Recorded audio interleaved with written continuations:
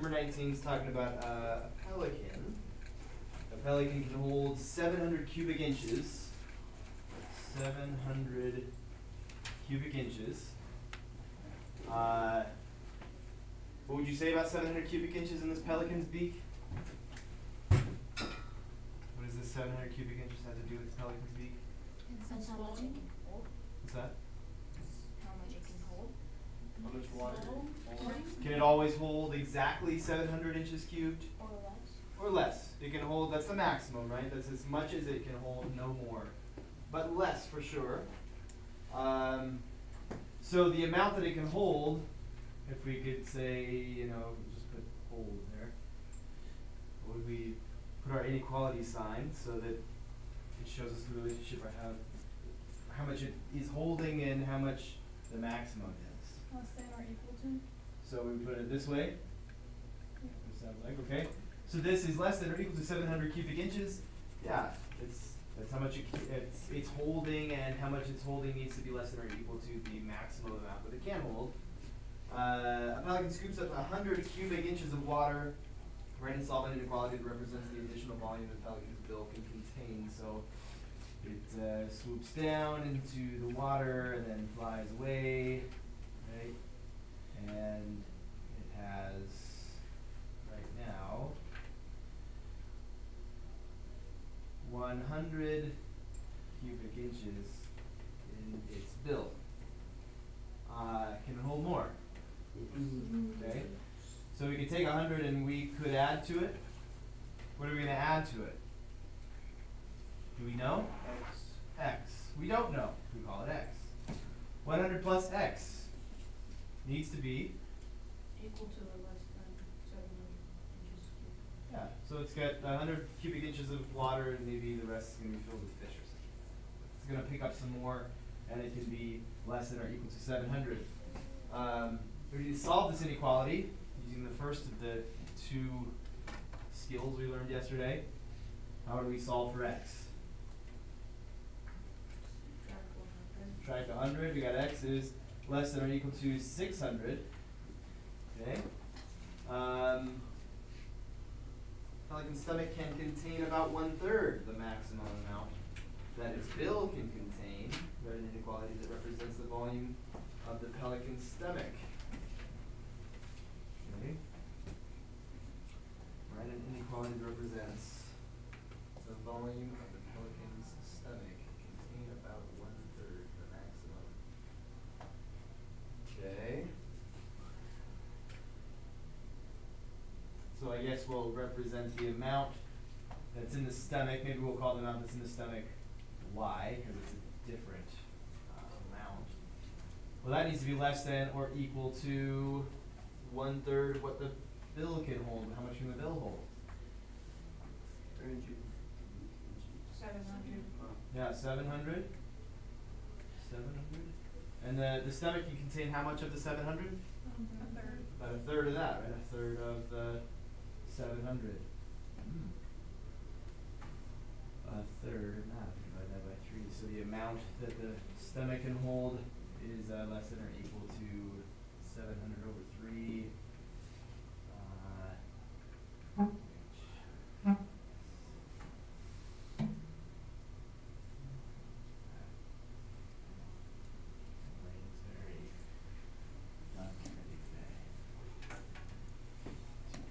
And a third. Okay. Is that what they had in mind?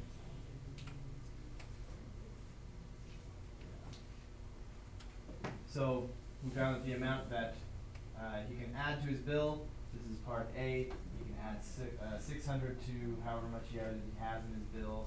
Uh, his stomach can hold less than or equal to two hundred thirty-three and a third, or seven hundred over three cubic inches. Alright, questions about that? Does that make sense? You get that? Okay, next. Uh, alright, let's try that again. Hmm. Okay, so next was twenty-four. Twenty-four, three point two.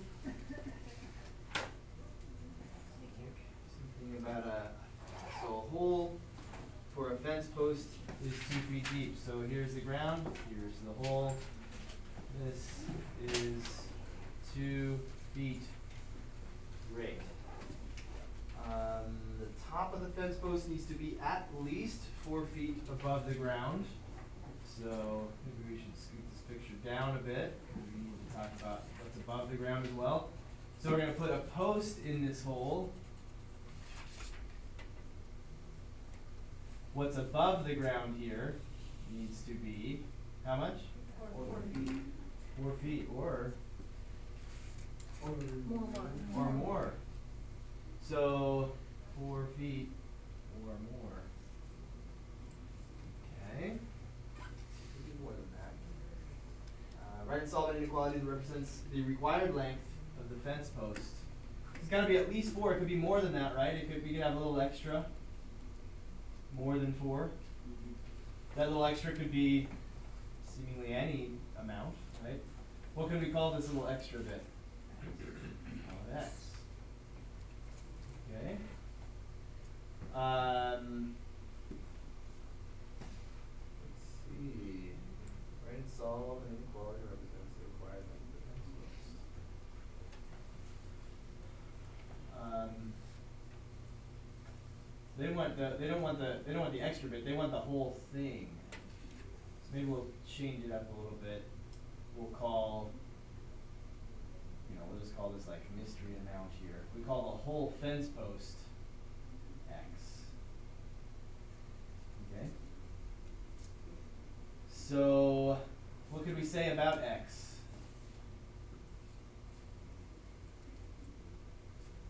plus two. X plus two?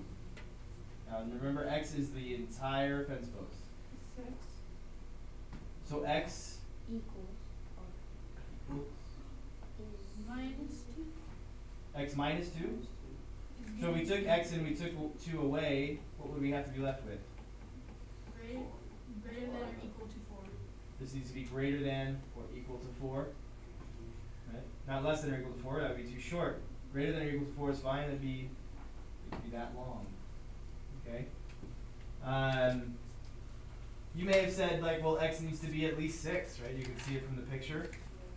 Okay, you could have said X is greater than or equal to six, not really much to solve there.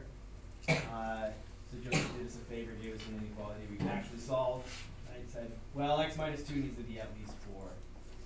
Which means that if we add two to both sides, then we find what we just said a second ago, X needs to be at least six, greater than or equal to Alright. Thirty-seven and thirty-eight.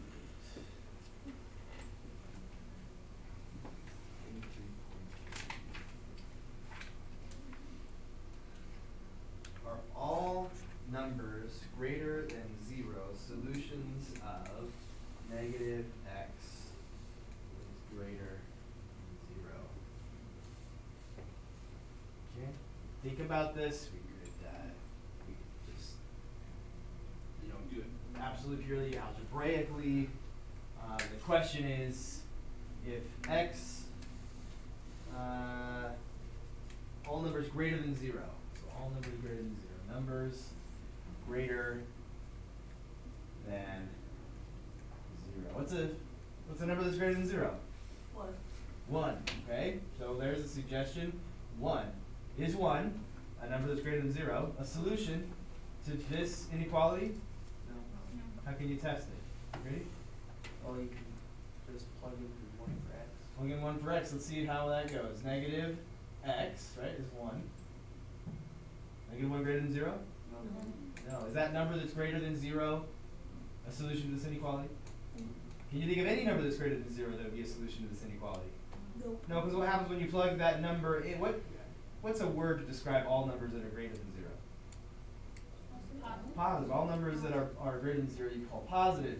So what happens when you plug a positive number into this inequality? Is it going to be negative? It's a negative, and is a negative number are they gonna be bigger than zero?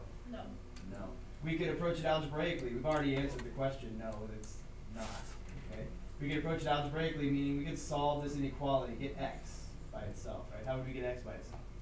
Divide by negative. Divide by negative one, and so when we divide this by negative one, we get positive x.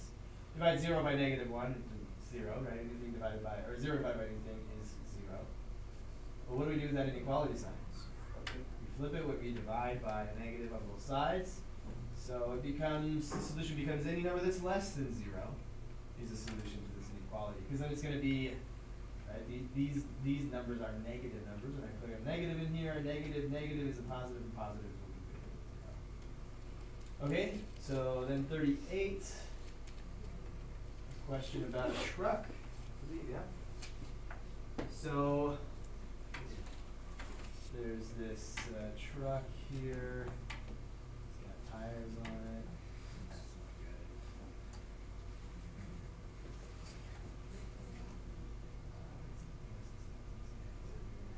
carrying a trailer, flatbed thing. It's got something. Um, oh, it doesn't have any wheels. So then it's got some things stacked on top of it. From here to here, the diagram tells us is three and a half feet. Uh, this guy here is twenty-eight inches, which we should already be thinking, this is three and a half feet and this is twenty-eight inches. We need them to be same units, right? We need twenty-eight, what's that? Right, this one, 42 inches, three thirty-six, and six more would be forty-two inches. But we should also think about, what's the question here?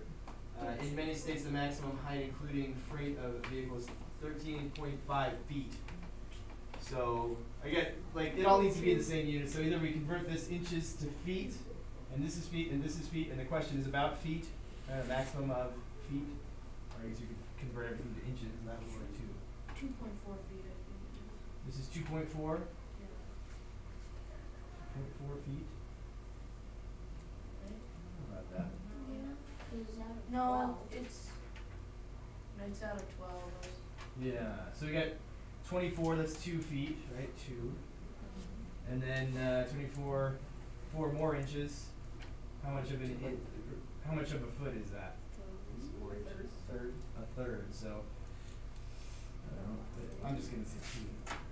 Two and a third feet, and three and a half feet, and there's a max of thirteen and a half feet, right, like maybe all bridges at, are at, uh, like the shortest bridge is thirteen and a half. Okay, so your, your truck can be only that tall or shorter than that. Um, so five crates are stacked vertically on the bed of the truck. Is this legal? So there's five of these, right? And they're on this truck, which is three and a half feet tall. So how do we figure out if it's legal? Gotta multiply two and one third by five. Five times two and a third. And has plus three point five. you gotta add that three point five on, and that needs to be Less than. Less than or equal to. thirteen and a half feet. Let's see if it's, if it is. It's not.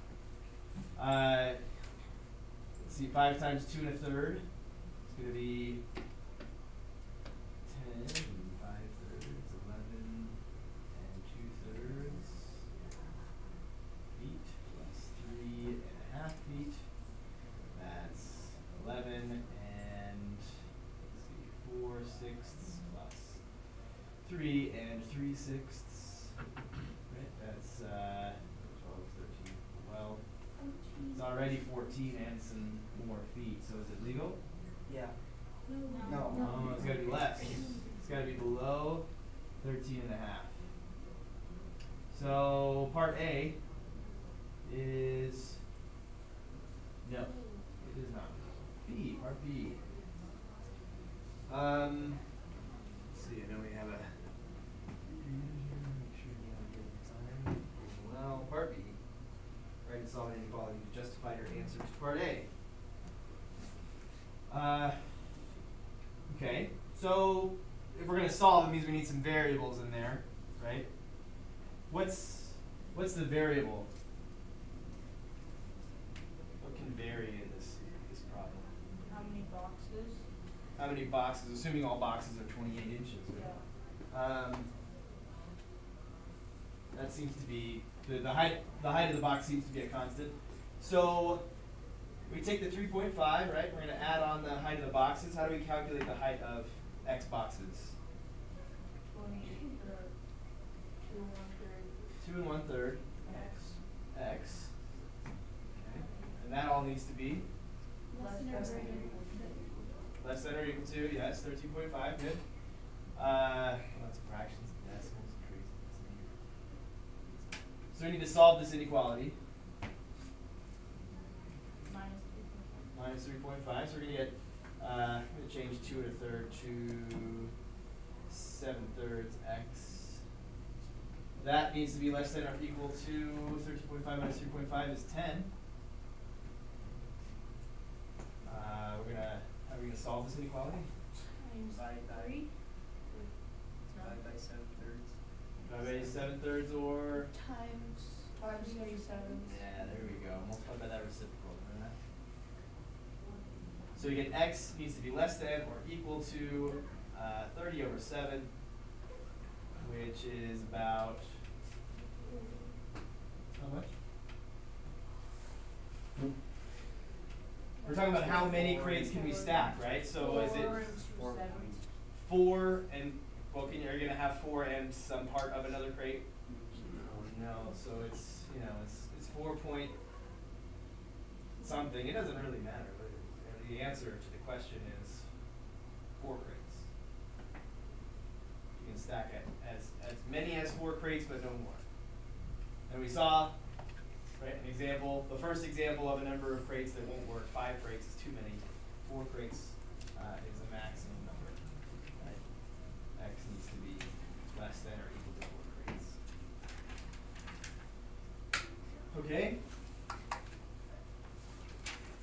It's actually kind of an advanced problem for this section, but we did fine. Uh, any questions remaining? Feel like you get it? Subtract both sides, multiply by both sides. So one little catch there when you're solving inequalities. Divide and multiply by negative. Divide and multiply by a negative. Yep, very good. Let's take out of paper.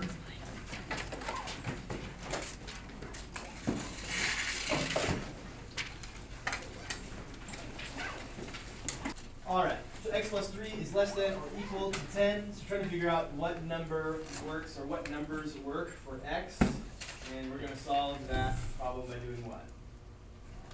Subtract three from both sides. And if we subtract three here, we get zero. If we subtract three from the other side, we get seven. So x needs to be less than or equal to seven. It makes a lot of sense. If this sum needs to be less than or equal to ten, then this number's gotta be seven, or it's gotta be smaller than seven, so that we can add up and be less than or equal to 10. All right, so x minus 6 needs to be greater than 3. And we're going to do uh, to Johnny. You add 6 on both sides. Add 6 to both sides. Add 6, you get 0. Add 6, you get 9. x needs to be greater than 9. Right? Mm -hmm. We're going to do fine here because we had to do exactly this kind of a thing in the last problem that we worked together. So how are we going to get x by itself here? Grady? times 3.032. Times three over two, multiplied by the reciprocal, we get these, uh, we get six over six, right, And we get a one. We multiply by three over two here. So we're gonna get x is less than Twenty-four. twenty-four over two, which is. Okay, or two cancels eight, we get uh, four times three is twelve. Okay, last one here, to get x by itself, we're going to, anybody besides Grady, Johnny, and Sean, kids? They have to divide by negative eight that's, wow. Any of that. Negative eight. and both sides. both sides. And you get, um, x, and then you have to reverse. Right, the we reverse that sign. sign, so it's less than, and you get one point five, one and one half. So negative, like these both have a factor of four in them, this gives us a three, this gives us a two, so negative three halves, negative one point five, negative one and a half, all those are good. This is my answer, negative three halves.